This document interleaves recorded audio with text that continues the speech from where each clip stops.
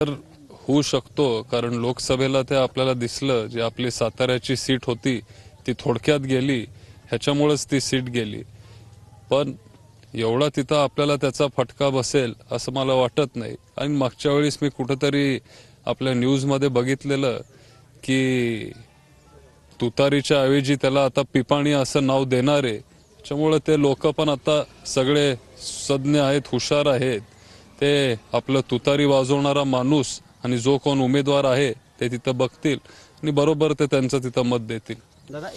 निवडणूक आयोगाने प्रत्येक मागणी मान्य केलीच पाहिजे असं नसतं. कारण निवडणूक आयोग हे स्वतंत्र ते स्वायत्त संस्था असलेली एक संस्था आहे.